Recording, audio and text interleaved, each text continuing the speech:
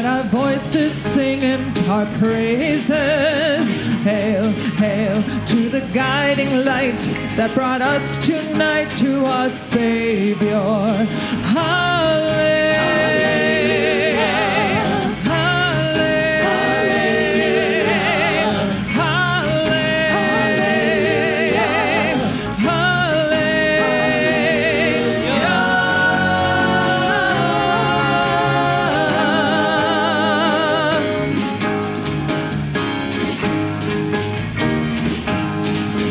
Come now, let it shine so bright through the knowing light of the stable.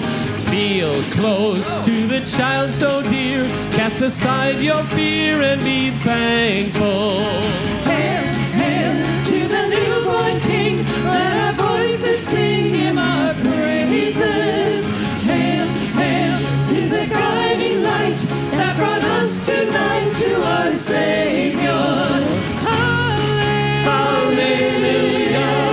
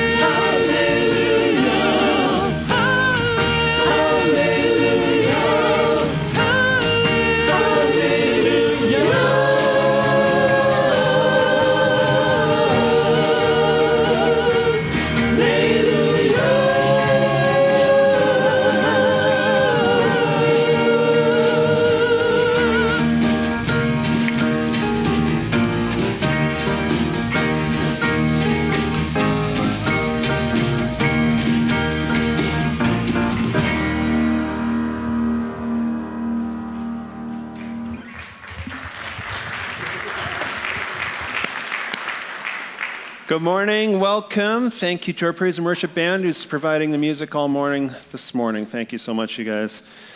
Uh, welcome to worship on this third Sunday of Advent. It's good to be with you all as we prepare for prepare ourselves for the coming Christ child this Christmas. Everything, sorry, Emily, that was me. Uh, everything that that uh, goes along with that in our in our culture today. It's a busy time of year. So. Um, I want to just offer up a few opportunities for you to try to be. You're going to think this is making you more busy, but it's actually making you less busy.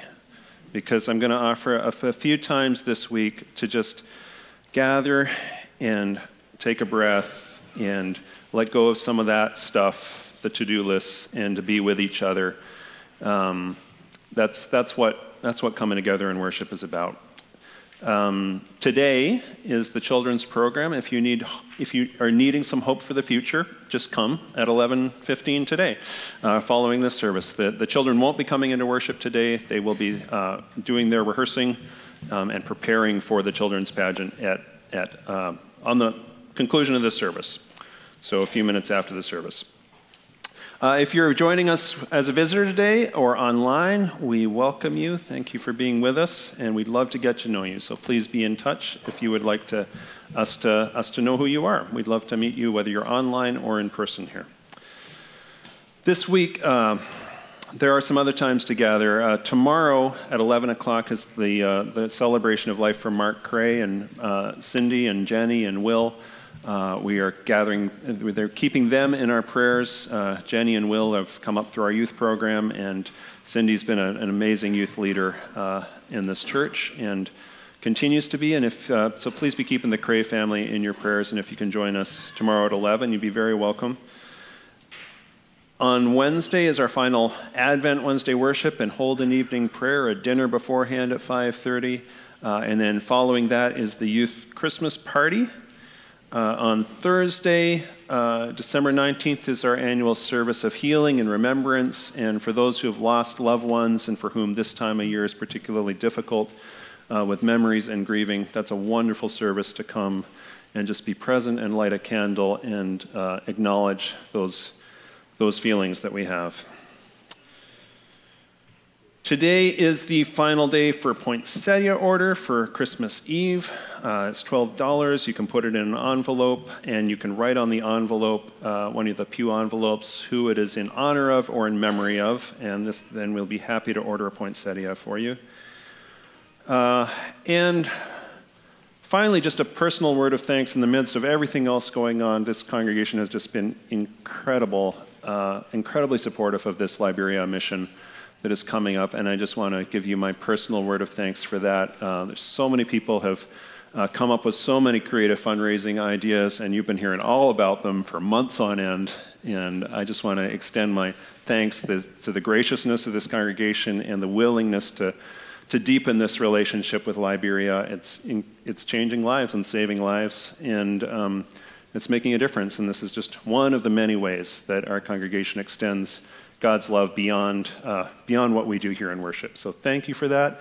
Um, our final Liberia dinner is tonight. Um, uh, one of our Liberian uh, community people is cooking. If you want to come and sample some food, get a little taste of what we're going to be experiencing over there for the 15 of us who are traveling, um, please join us. It'll be uh, fun for, for everyone of every age, um, including kids. And uh, there is one final um, uh, fundraiser thing, we're really close to our goal and we're just looking to close the final gap. Uh, there's a silent auction, um, which you can bid on this morning if you like, that, that uh, Norma spent many hours setting up yesterday. Uh, so that's in the fellowship hall. Um, and then um, we'll be, that'll continue tonight.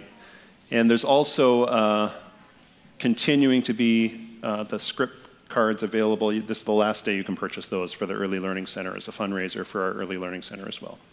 So again, I just want to thank you for your support, your generosity. This has been a big lift for us as a congregation, um, and, but I want you to know it really is making a difference. So thank you. I'd like to welcome the Kester family up to uh, lead us into our Advent worship.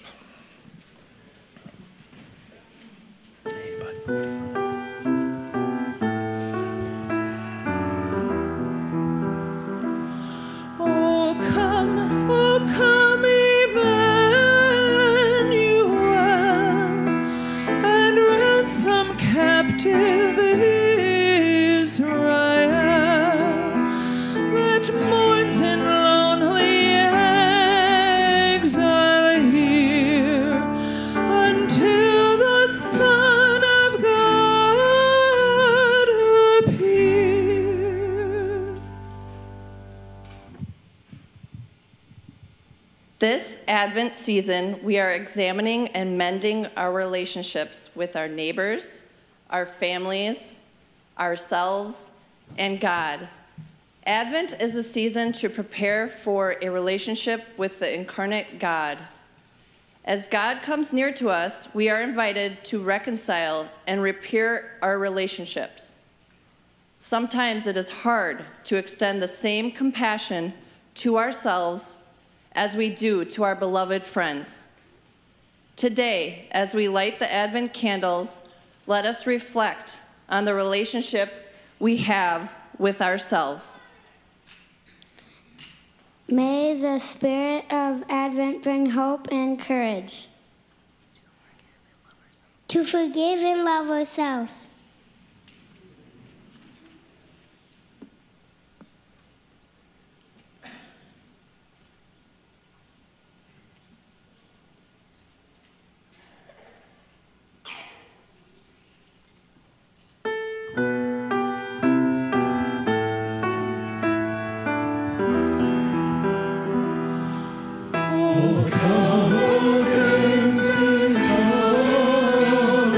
Come,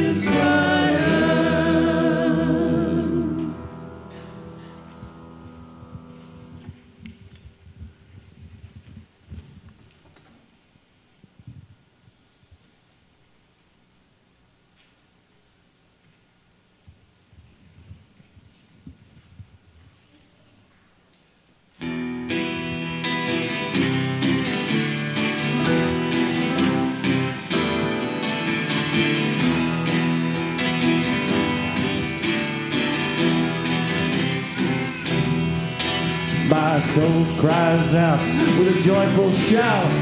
The God of my heart is great.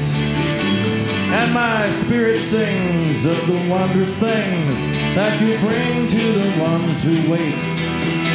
You fixed your sight on your servant's plight, and my weakness you did not spurn. So from east to west shall my name be blessed. Could the world be about to turn? My heart shall sing of the day you bring. Let the fires of your justice burn.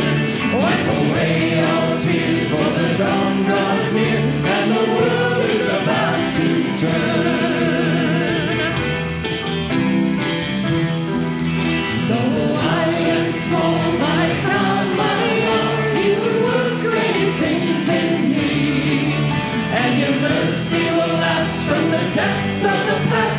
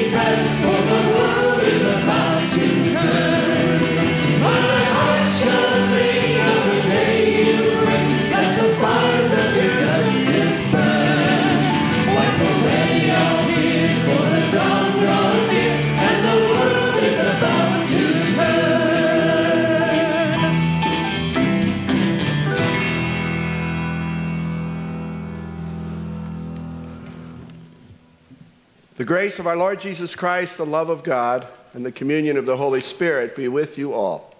And also with you. Let us pray.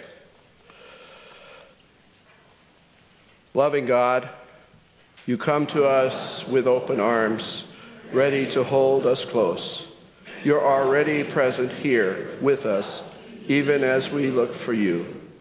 Open our hearts and minds to receive your nearness and grace.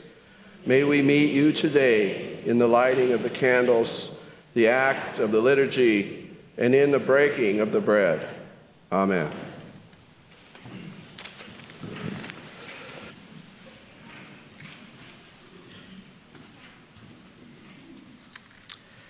Today's lesson is from Isaiah.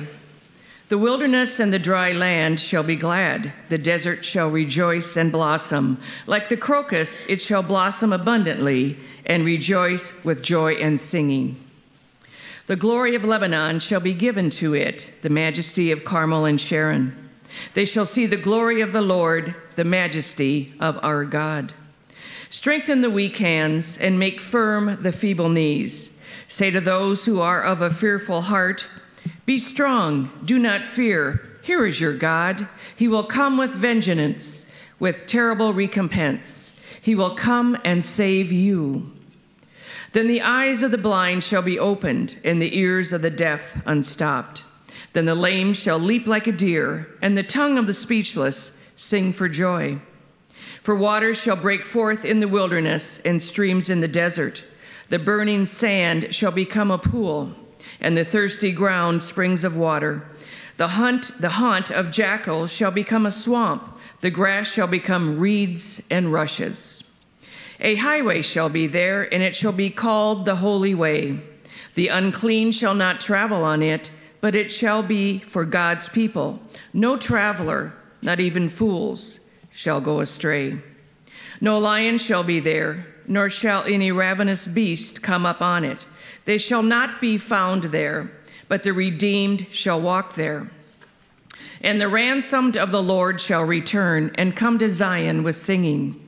Everlasting joy shall be upon their heads. They shall obtain joy and gladness, and sorrow and sighing shall flee away. Word of God, word of life.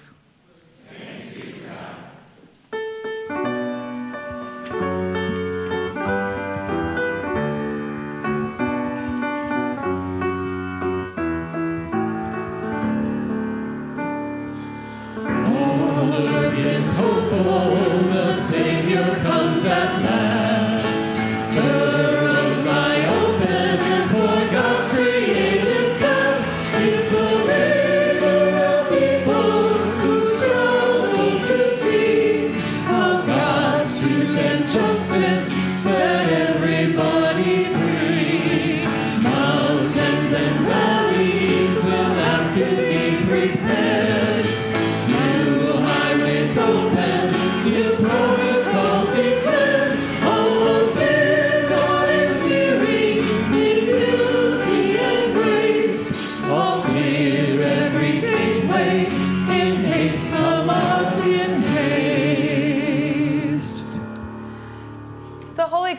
According to Matthew, the 11th chapter.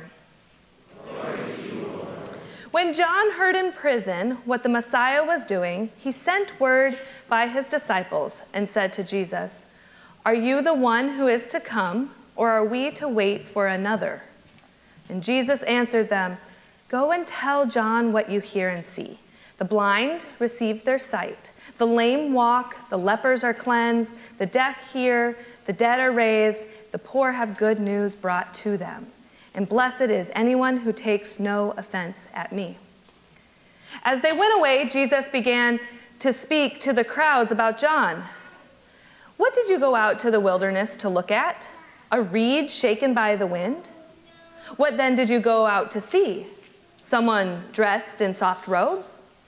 Look, those who wear soft robes are in royal palaces. What then did you go out to see? A prophet? Yes, I tell you, and more than a prophet. This is the one about whom it is written See, I'm sending my messenger ahead of you, who will prepare your way before you. Truly, I tell you, among those born of woman, no one has arisen greater than John the Baptist. Yet the least in the kingdom of heaven is greater than he. The gospel of our Lord. You may be seated. Grace and peace to you from God who loves us, God is, who is with us, and God who is for us. Amen. Well, community, here we are in week three of Advent. And if you're anything like me, you are so behind that you could swear Thanksgiving is happening this Thursday, and there's at least four more weeks until Christmas. When I was a kid, Christmas used to take longer to get here. Advent was a much slower season back then. The weeks dragged on and on, and I'm sure Advent was more than just four weeks in the 80s, right? As a kid, I was fully prepared for the baby Christ child to arrive in that manger by the time of, the evening of December 24th came around. But this year, it's really catching me off guard, and I'm not ready at all. Which I guess puts me in company with some of our characters from the text today. In fact, they aren't even sure who the Messiah is at this point. Even John sends his disciples to, to go find Jesus and ask him, Are you the one who is to come? Or are we waiting for someone else? And this makes me feel better because John is a prophet who has been telling people that the Messiah is coming. And even he wasn't sure that this Messiah was Jesus. Now, Jesus doesn't answer their question directly, but does tell them something compelling. The blind will receive their sight, the lame walk, the lepers are cleansed, the deaf hear, the dead raised, the poor have good news brought to them, and blessed is anyone who takes no offense, me. Why did he have to add that last bit? Why did he have to say, Blessed is anyone who takes no offense to me? Well, what's implied is that the gospel is offensive, that the Messiah is offensive. He's not merely here with some good news and a hopeful message. He's not just some inspiring teacher who warms our hearts and teaches us how to be nice to one another. No, this Messiah comes onto the scene and shatters the status quo. This Messiah comes and interrupts everything. He disrupts social orders. He destroys the economy. He heals the sick and empowers the oppressed. And we see this disruption because the people who Jesus mentions and lists in this passage are the people who have a certain place, a certain place on the side of the road. To the privileged, there's a certain order to things, especially a certain order about those marginalized by society. This order is important. We who are privileged have this bad habit of assuming well, if there's no blind people, what good is sight? If there are no deaf people, how will the hearing be more superior? If there are no sick people, how will the healthy know how good they've got it? And if there's no one in prison, how do we know that we're free? If the lepers are cleansed and welcomed back into society, what good am I that I have remained clean and untouched by that disease? If the dead don't stay dead, good Lord, what is real anymore? That's the only guarantee we're supposed to have death and taxes. And if that wasn't enough, there's this kicker. Jesus says, The poor will have good news brought to them. The poor are not used to good news. The poor get shuffled around from bad landlords to worse landlords. The poor lose their jobs due to company restructuring and layoffs and racism and pregnancy. The poor have more and more health concerns piling on each, on each other, each issue adding more and more complexity to the last. The poor does not get good news. Now, as an intern in seminary, I am tempted to claim to be poor. I certainly feel poor. The government even recognizes my lack of cash flow, and I qualify for income based student loan payments, which is zero. And it helps in the here and now, but not in the long term as interest is piling on. And my husband and I have perfected the grad school meal plan rice and beans. The, the key is to slow cook the beans in a crock pot with an obscene amount of butter, if you're wondering. Put a little bacon fat too, it's good. But no matter how poor I feel, I'm not actually poor at all. I'm simply broke. I have the hope that this is temporary. I have a backup plan if things get bad. I have a safety net. My cash problem is temporary and directly related to graduate school, which will theoretically lead to a call. But being poor is altogether different.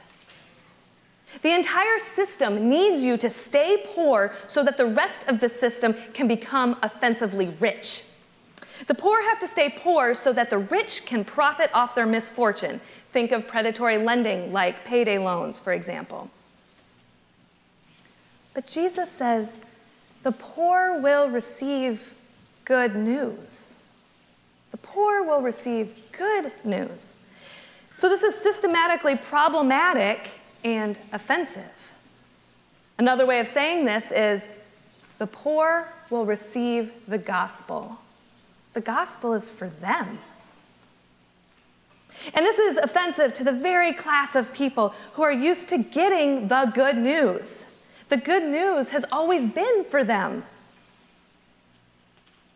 But Jesus says the poor will receive the good news. Because the gospel gives back power to those who are disabled. The gospel gives all people voice and full inclusion in the kingdom of heaven.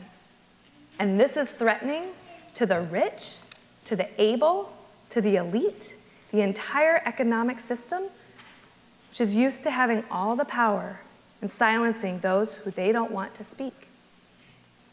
So Jesus' words are threatening and offensive. If we can't oppress them, how will we know that we are in power? If they're raised up to our level, how do we know who's better? If they are co leaders with us, how do we know who will have the final say? If we're all equally strong, or worse, if strength is no longer a thing, who will win in this fight? And Jesus answers, Exactly. Now you're getting it. But I don't think I am, Jesus. Because the gospel is disorienting, to say the least. It's infuriating, it's aggravating, it's confusing, and it's offensive. And so, this is Jesus' whole point here when he says, Blessed is anyone who takes no offense at me. The implication here is I just said some pretty offensive things. So, no, we are not ready for Christmas. We are not ready for the Christ child who has been and who is and who will be overthrowing the ways of this world. Last week we heard that a child will lead them and that lions will lie down with the lambs, that there will be no carnage when the carnivore eats with the herbivore. Did you yell out in protest? But a child can't lead them. What does a child know about leadership? Leadership of a kingdom, in the kingdom of heaven, no less. They're too young. They're too impulsive, too unpredictable, too emotional, too vulnerable. So Jesus says again, exactly. Now you're getting it. Jesus then, noticing their discomfort as they start to walk away, asks them and the crowds, Well, what did you expect when you went to the desert? Did you expect to see a king dressed in fine clothes wandering through the hot sand? No, you went to the desert to find a prophet. So, this is what you get. Prophets are not the fancy, honorable, respectable people of society. Prophets are not predictable, orderly, or even clean. Prophets are the ones who are weird, who challenge us, who challenge the status quo, who disrupt the peace, who make everyone feel uncomfortable, who are reluctant to join society, and who just don't fit in. The prophet doesn't want to be there any more than we want the prophet to be there. They go out into the desert to commune with nature and not to burden society by what God has revealed to them. To be clear, a prophet isn't a fortune teller or clairvoyant. A prophet doesn't tell you what the future holds, nor does he have a crystal ball. A prophet tells you about reality. A prophet calls your attention to what you've been ignoring. A prophet in your midst pushes you and says, Are you really who you say you are? Do you really believe what you say you believe? Prophet makes us uncomfortable. A prophet's presence is unsettling and upsetting, disorienting. John the Baptist, social outcast, he didn't wear the right clothes, he didn't even eat the right foods. And yet Jesus says, No one is greater than he is. Yet in the kingdom of heaven, the least are even greater than he is. What is the hierarchy in this kingdom, Jesus? Who is the best? Who's the most honorable? Because, Jesus, I'm asking this for myself. Where do I fit in? Am I the least or am I the greatest? Do I belong in the kingdom, Jesus? Because it sounds like I don't. Tell me, Jesus, am I important in this kingdom? Do I matter to you? What's my role here? If the people on the side of the road are going to be eating dinner on white linens with the presidents and the CEOs, well, where do I sit at this table?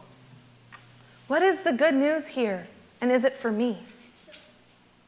Because if you're saying I'm guilty of oppression because of my birthright, or the color of my skin, or my luck in the workforce, or because I worked hard, what am I supposed to do now? It never meant to be oppressive. I've been doing my best, God. I'm a good and compassionate person, Jesus. You must see that. So, what do you want me to do now, God? How will I know if I matter to you?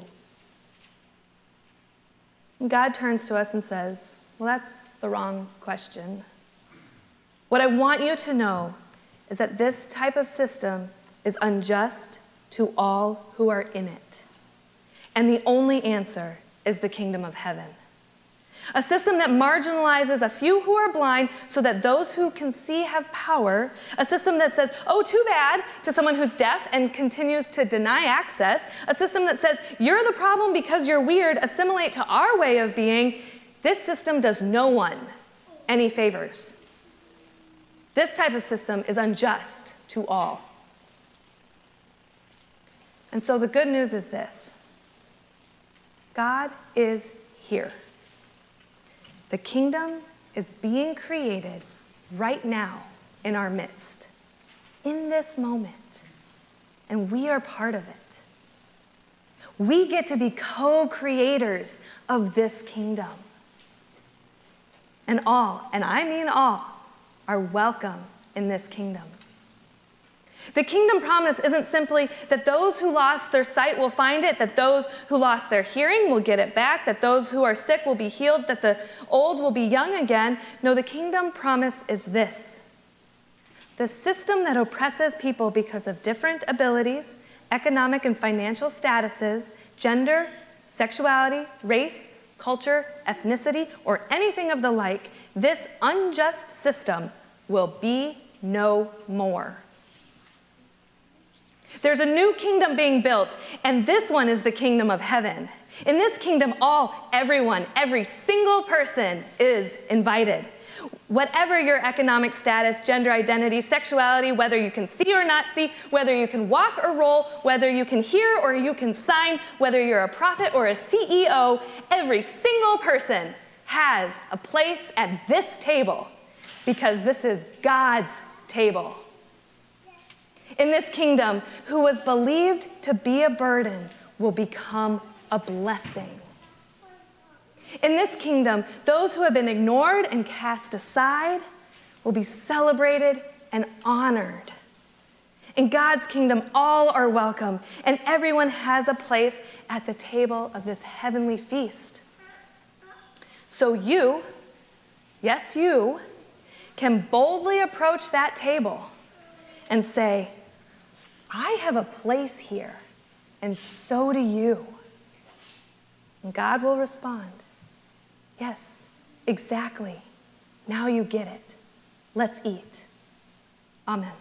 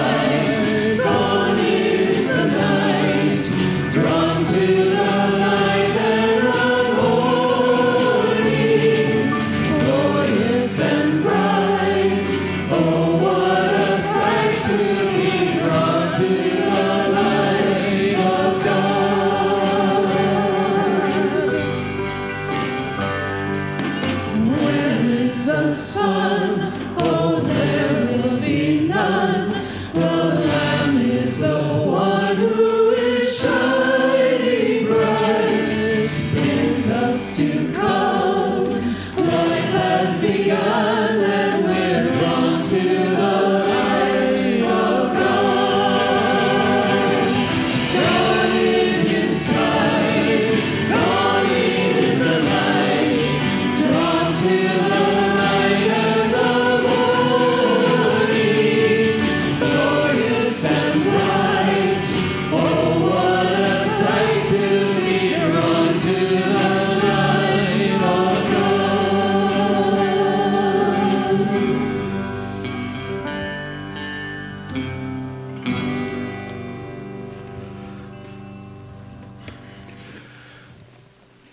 invite you to stand in body or spirit as you are able. Let us confess our holy Christian faith using the words of the Apostles' Creed. I believe in God, the Father Almighty, creator of heaven and earth. I believe in Jesus Christ, God's only Son, our Lord. He was conceived by the power of the Holy Spirit and born of the Virgin Mary. He suffered under Pontius Pilate, was crucified, died, and was buried. He descended to the dead. On the third day, he rose again.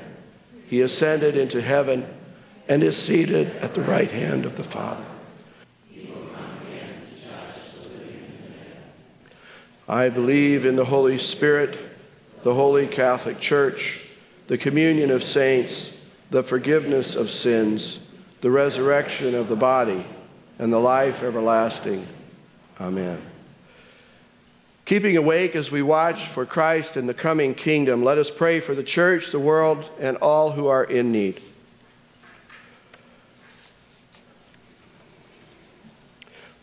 Holy God, we rejoice that your promises take flesh in Jesus. We would ask that you would grant patience to your church as we await the fulfillment of your reign of justice and peace. Give us a growing sense of hope and urgency as we continue to proclaim to you, proclaim you to the world. Lord, in your mercy. God of creation, creator God, we rejoice that you make flowers in the desert, you water the wilderness, you send rain to parched fields and sun to flooded plains. As we journey through this dark winter, we ask that you would nurture all that lies sleeping under frozen ground as it prepares to rise again in the spring. As we face the great challenge of global climate change, give us the will to take every measure to heal our earth. We need your help in this. Lord, in your mercy. Almighty God, we rejoice in your authority as Prince of Peace. Deliver us from those who wield power through unjust and oppressive ways. Raise up prophets to speak your truth. Protect this great country from all that threatens to tear it apart. Lord, in your mercy. Gracious God, we rejoice today that you dwell in human bodies. Renew signs of your joyful presence in the people of all shapes, sizes, ages, and abilities. Today we pray especially for Dave Merrill, the Dunwoody family, Bob Lundeen, Keith Sen, Jane Kenyon, Joel Wigstad, Jeff Hodeling, Gene Nyberg, Ray Jones, Ellie Hansen, Alice Larson, and those we name before you now.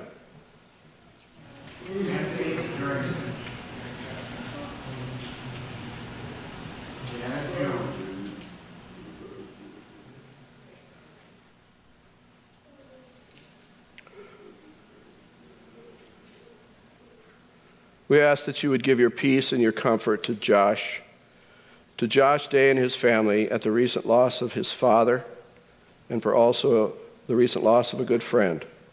Be with him, comfort him. Lord, in your mercy.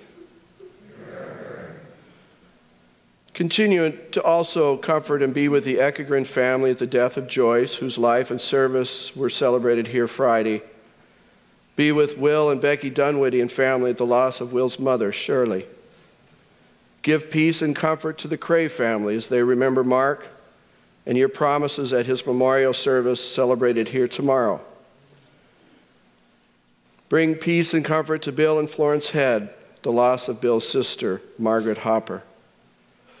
So many losses. Bring healing and power to all who seek you and long for the gifts of your spirit and comfort. Lord, in your mercy. Lord, you hear the cries of our hearts. You fill us with hopeful expectation that in each day and hour we may love and serve our neighbors. In Jesus' name, amen. Let us give with joy as we worship God.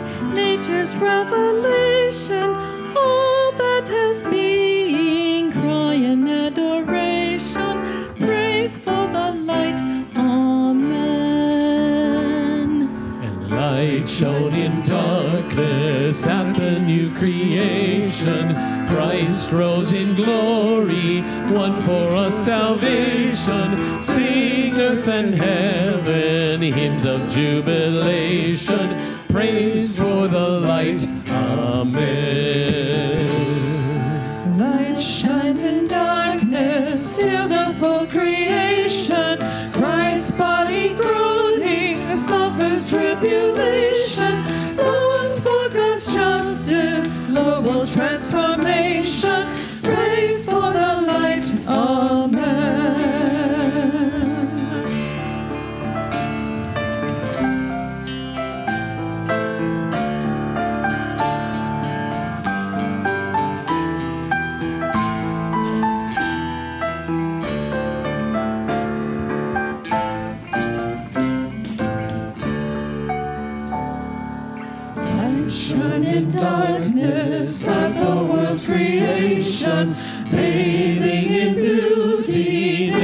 Revelation.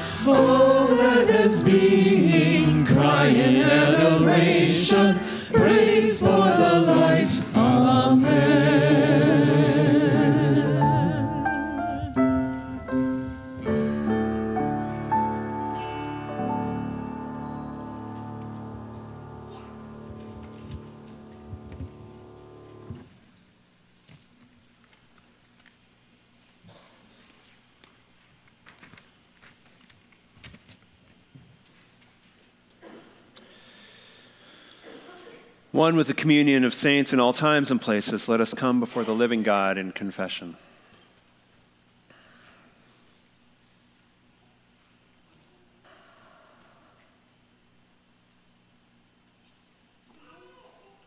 Dearest God, you look at us with love and compassion, and you marvel at how wonderful and beautiful your creation is.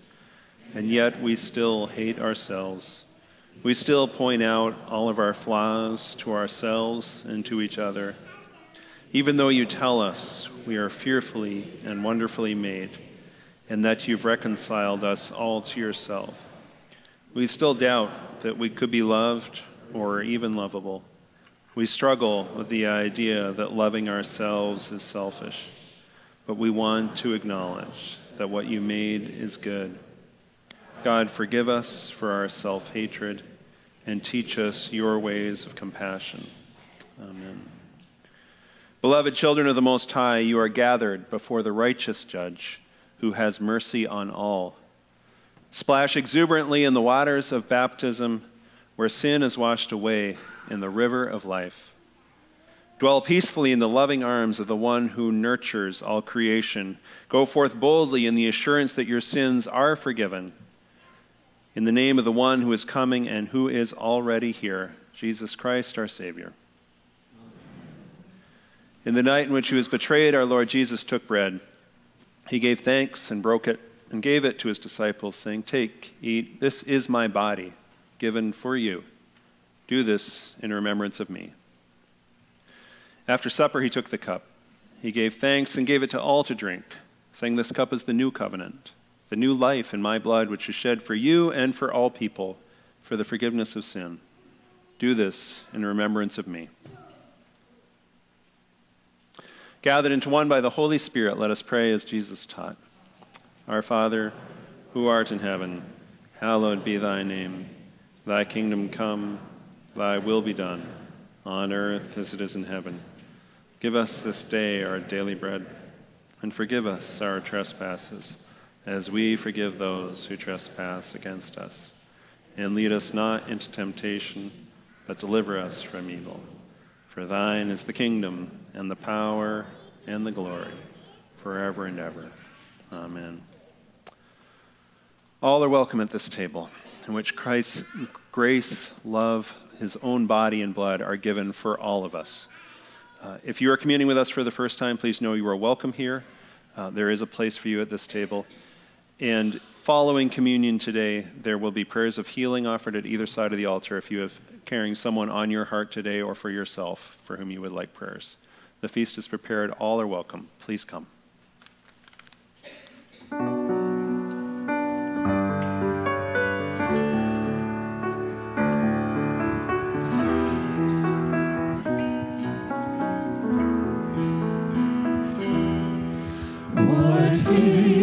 Of love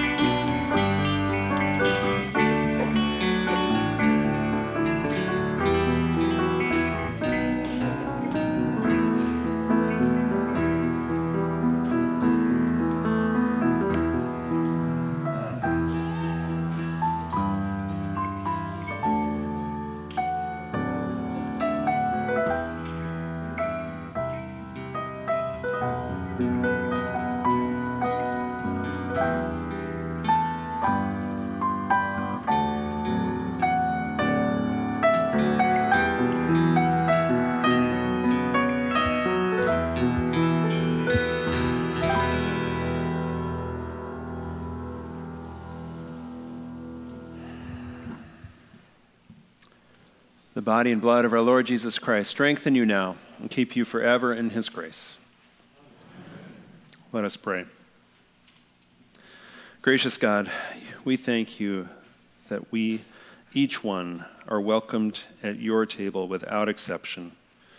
Strengthen us by the power of your Holy Spirit through your word, through the sacrament, and through the love that we feel from and through one another. Strengthen us to go out and let everyone else know that they are beloved as well, in any way that we are called to do so. We do this in your name and by your power alone, in Jesus' name. Amen. Let's stand and receive the blessing.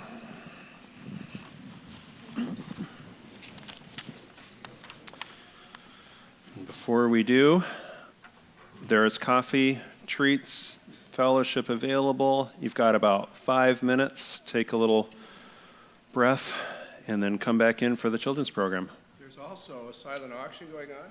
Oh, there is, yeah. I mean, if you hit that on the way to your coffee, that's fine. Silent auction, and I, I just, we had this idea that we would all of us pull together and bid on the drum set and give it to Arthur's children for Christmas. What do we think about that? Whatever is bid on the drum set, we will match it and give it back to you.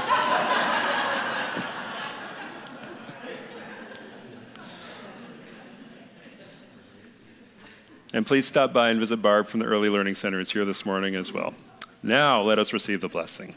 May God, who gathers us in love, lead you in pathways of righteousness and justice. May God, who knows us more deeply than we know ourselves, lead you in pathways of forgiveness and freedom. And may God, who fills us with good things, lead you in pathways of equity and abundance. And the blessing of the Holy Trinity, one God, be upon you now and remain with you always. Amen.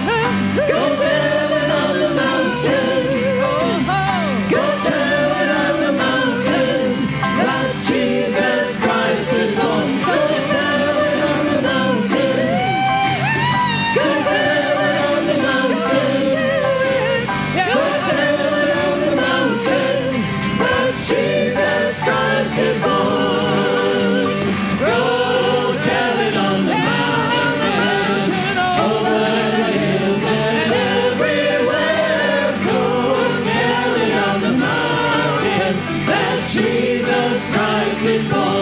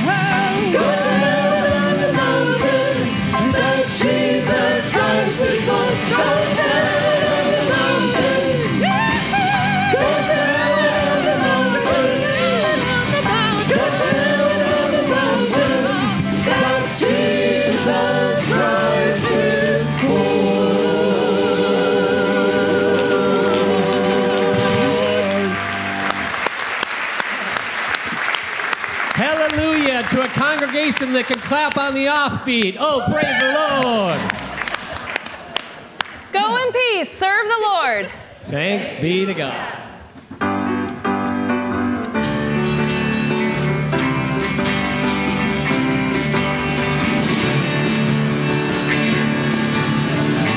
Someone shouting from the desert, someone shouting from the sea, someone shouting from the mountain shining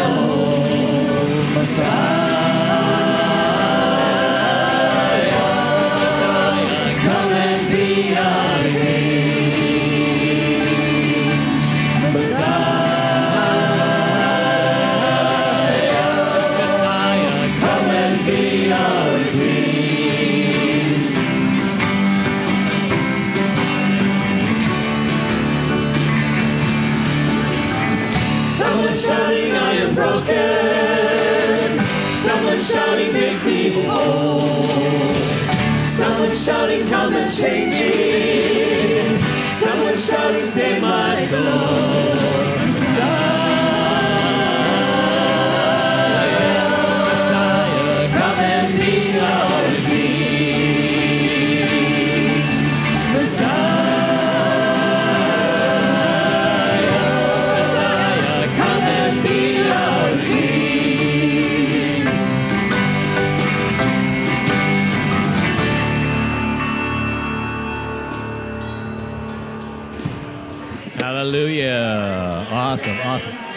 leave the mics.